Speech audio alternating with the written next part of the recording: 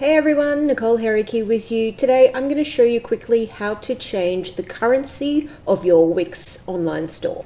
So what we need to do is go to My Store over here in the left hand panel and then click on Manage Store. You then need to go to Settings and General Info.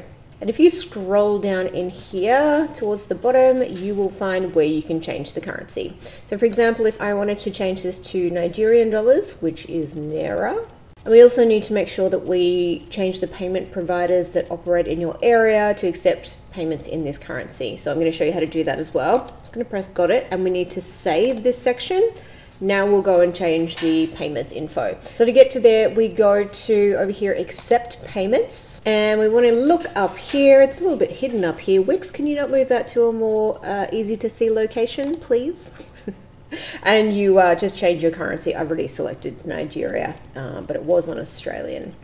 Okay, and then when you have a look here, you'll see the different methods. I just want to show you why you need to change this. If I go back to Australia, you'll see that there is different um, payment methods available for each country. So that's why you need to change it to make sure that um, you're not going to be using something like Alipay, which is not available in Nigeria.